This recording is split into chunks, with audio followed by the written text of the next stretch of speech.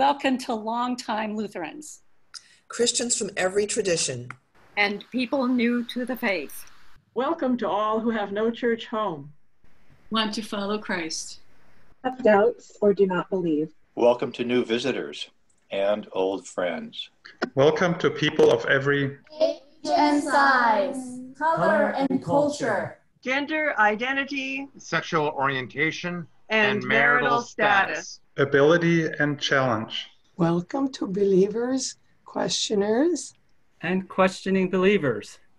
This is a place where you are welcome to celebrate and sorrow, rejoice and recover.